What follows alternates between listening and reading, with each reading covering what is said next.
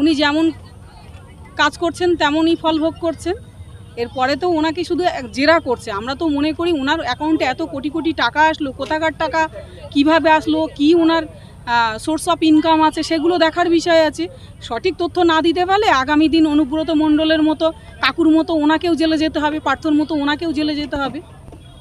শাসক দলের নেতাকর্মীরা বলছেন তৃণমূল তাদেরকে শুধু সিবিআই ডাকছে, কিন্তু বিজেপিদেরকে কেন ডাকছে না? আইসিএফদেরকে কেন ডাকছে না?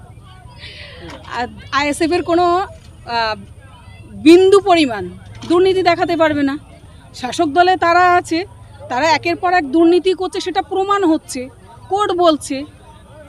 আমাদের বিচার ব্যবস্থার উপরে ভরসা রাখতে হবে, আস্থা রাখতে হবে। আমাদেরকে বিনা অন্যায়তে বিয়াল্লিশ দিন জেল খাটিয়েছে আমাদের বিধায়ককে, আমাকে দু মাস জেল কাটিয়েছিল আমরা তো মানে প্রশাসনের উপরে এইভাবে মানে আইনের আইনের উপরে আঙুল তুলিনি। আমরা আইনের প্রতি আস্থা রেখেছিলাম এবং অন্যায়ের বিরুদ্ধে গণতান্ত্রিক প্রক্রিয়ায় লড়াই করেছি।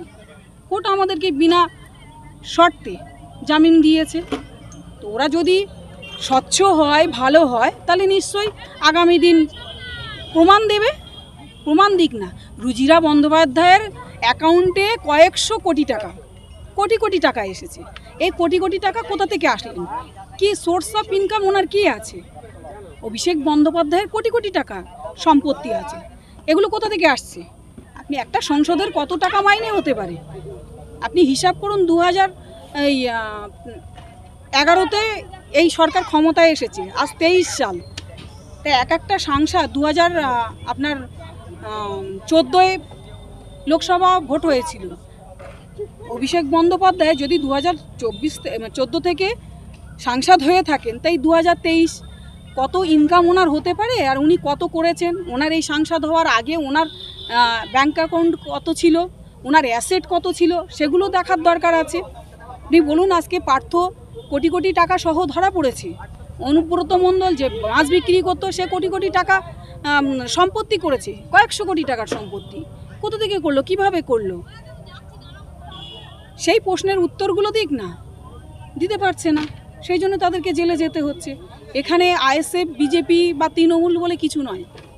যে অন্যায় করবে, সে জেলে যাবে। আমাদের বিভিন্ন কর্মসূচি আপনারা দেখছেন, একটার পর একটা হচ্ছে রাজনৈতিক বা আপনার সামাজিক সব কর্মসূচি চলছে এবং জুলাই মাসে তো আমি শুনলাম রিসেন্টলি ইলেকশন ঘোষণা হয়েছে।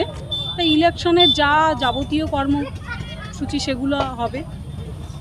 যা যা প্রার্থী দেওয়া থেকে শুরু করে ভোট করানো প্রচার মিটিং মিছিল সবটাই হবে।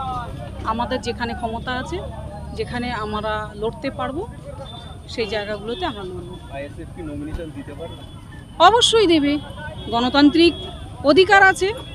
যারা বলছে আমাদের মেরে কবরে ঢুকে দেবে পুঁতে দেবে আমাদের কবরে পেরেক পুঁতবে এই জনগণ তাদের কবরে পেরেক পুঁতে দেবে। সময়ের অপেক্ষা। মানুষ মুখিয়ে আছে শুধু ভোটটা দেওয়ার জন্য। এই ইলেকশনটা আমরা মনে করি গতবারের তুলনায় এবারে আরও পিছিয়ে আসবে। এটা আরও আগে হওয়ার ছিল।